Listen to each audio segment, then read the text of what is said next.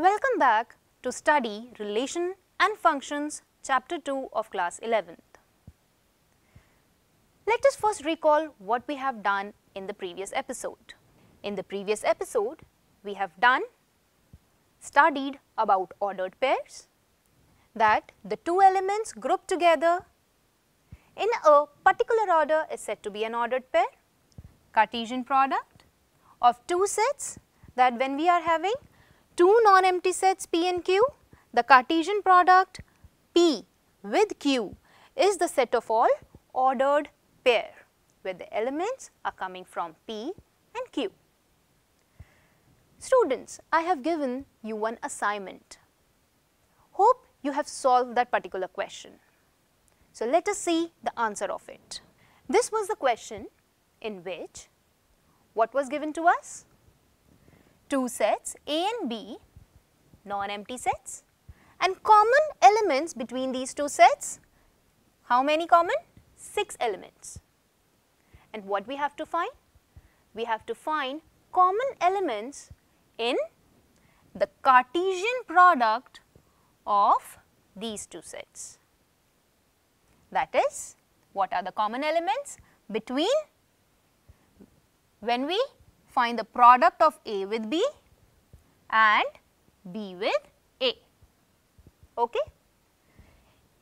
We have also given you a hint and this is very helpful. So, first of all, let me give you the answer of it. Answer is 36. Those who have find it as 36, yes, you are correct. So, let us see how we can find this answer. We have to find the number of elements in this set. And this set is already given to you. That is it is equal to this. So, we can use our hint.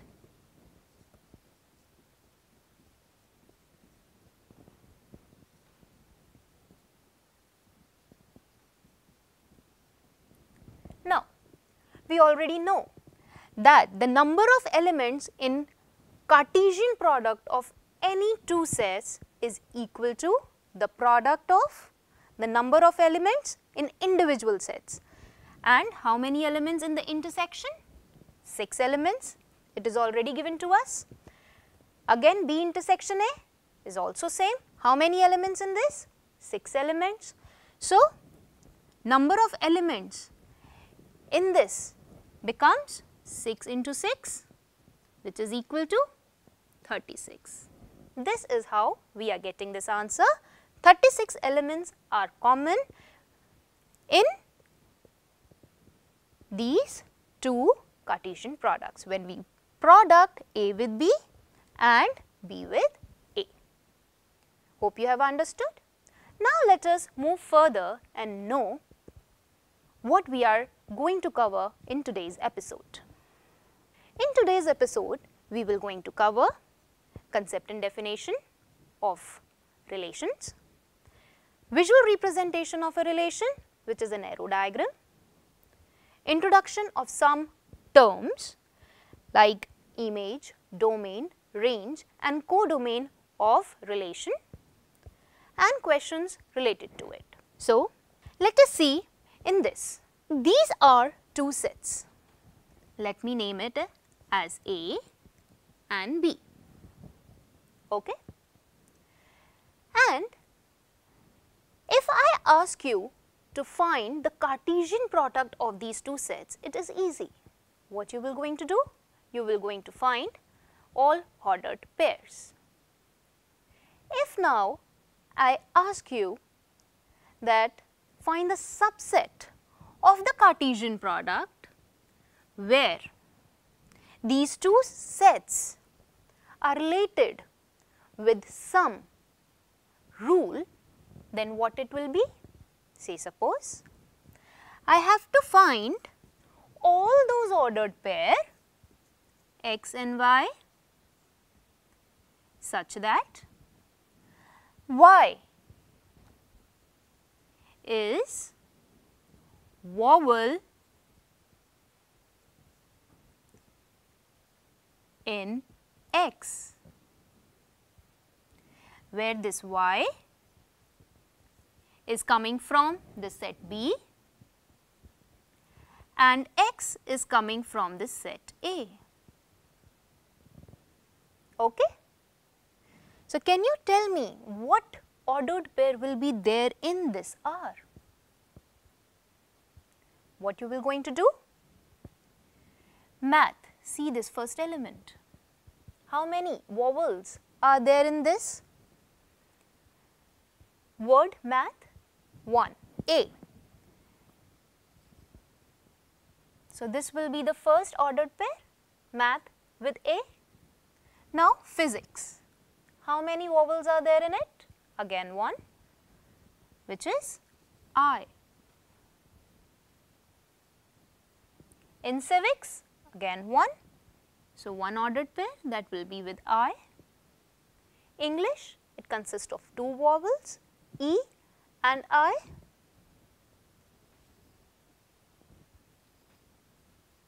So, ordered pair English E and English I will be there in the set R and Hindi again it is related to I. Okay. So, what we can say? R is having how many elements? Let us first write them out. So, I am using first letter for representing each subject. M, A, okay, let me write over here. M, A, P, I, C, I, E with E, E with I. And H with I. So, this set is a subset of the Cartesian product where each element of the ordered pair are derived with the relationship between the two elements of an ordered pair. Now, let us see the formal definition of relation. The formal definition of the relation is a relation R from a non-empty set A to a non-empty set B.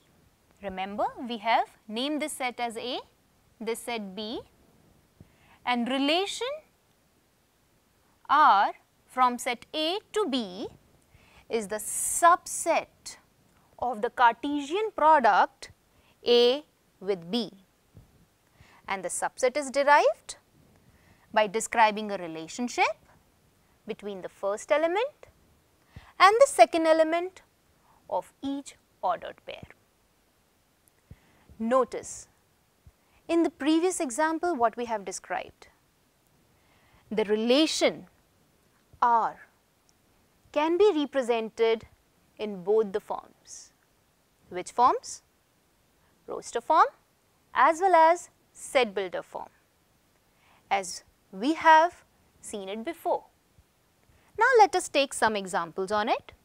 Before taking examples, let us understand some terminologies. In this, the first terminology is our image. Remember what we have seen? This is our relation set A, set B. What was our relation? Y is related that means all the elements in set B is related to the elements in the set A where Y is representing vowels in the elements of set A. So, math is related to A, physics is related to I, civics is related to I, English is related to E and I and Hindi is related to I. Okay? Now, image. The second element is called the image of the first element. That means, A is an image of math that is the first element. E is the image of English. I is the image of how many elements? 3 elements, 4 elements, physics, civics, English and Hindi. Okay? So, if I write, again I am writing here the relation what we are getting in the roster form that is math and A. Say Hindi and I and so on. So, the second element is said to be the image. Okay? Now, the next term domain. Domain is the set of all those points or we can say elements in the relation R from the set A to B that means those who are having image in the set B. And how many elements are there which are having image? In the set A, all the elements. So, math, physics, civics, English, Hindi, all elements are coming in the domain. Now, question arises, every time is every element will be there in the domain? Think upon it, we will going to discuss it later. Now, the next terminology that is the range. Range is the set of all images. Images are A, E and I. Notice the full set B is not a range. The full set B is said to be codomain and the elements in it which are becoming the image of the element of the set A, the set of all those images is known as range. Obviously, we can depict the relation between the two range and codomain. Range is a subset of codomain. It can be full set B and it is, can be a proper subset of B as well. So, let us move further and see this example. In this example, a set A is given to you in which how many elements are there? 6 elements 1, 2, 3, 4, 5 and 6. We have to depict the relation which is given in a set builder form from A to A. Okay? So, this is my set A, this is also a set A and we have to depict a relation R where the relationship is given by this. What we have to find? arrow diagram. That means we have to represent a relation with the help of an arrow diagram and the domain, range and codomain of the relation R. So, first let us represent the relation R in these two sets which is our arrow diagram. Now, see in this case the second element second element that means the second element is twice of the first. That means the image of 1 will be 2. Okay. Now, image of 2 will be 4. an image of 3 will be 6 because they are related with this relationship. This is how they are related to each other. This representation is representing our arrow diagram. This is how we represent it. Now, in this what we have to see? or we have what we have to find it out? Domain, range and codomain. Remember I have asked you, will each and every element of the first set will always be a domain? Now see here, it is giving me the answer for that. No, it is not necessary. What will be the domain in this relation R? Let us write it down. The domain.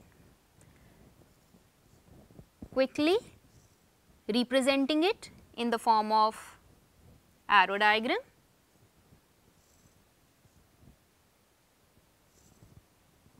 So, this is what a representation of a relation.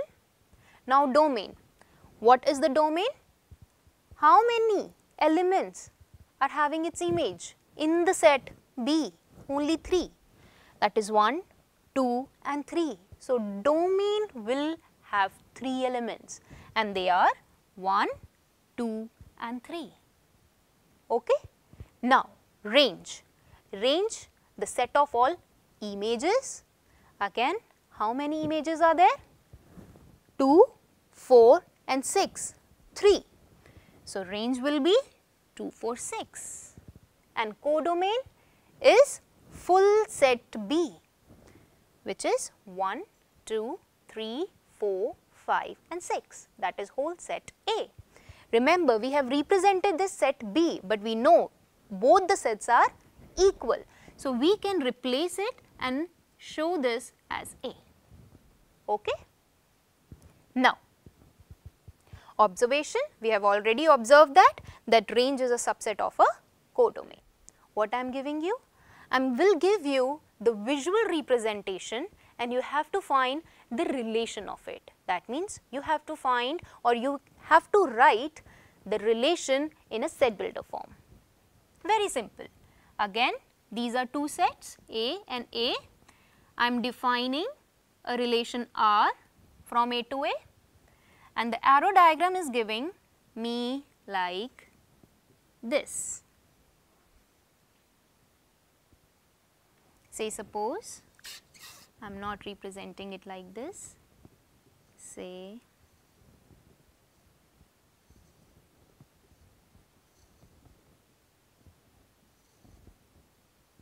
like this. Okay? Now, can you write the relation in a set builder form? By understanding this arrow diagram? Yes, you can. How? See this case. R is a set of all those ordered pair x and y such that there is a relation between the two points or two elements. What is the relation? You may notice that the second element is what? It is plus 1 of the first element. So, I can write x plus 1 okay, where both x and y are coming from the set A. So, we have formed a relation of all those ordered pair where the second element is a successor of the first element. Now, what will be the domain range and codomain of this relation? Easy. Domain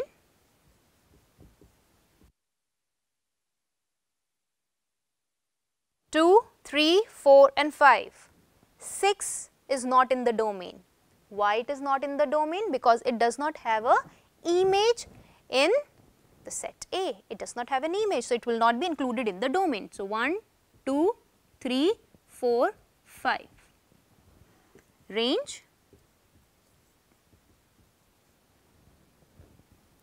very well we can see in this arrow diagram 2, 4, 2, 3, 4, 5 and 6 and codomain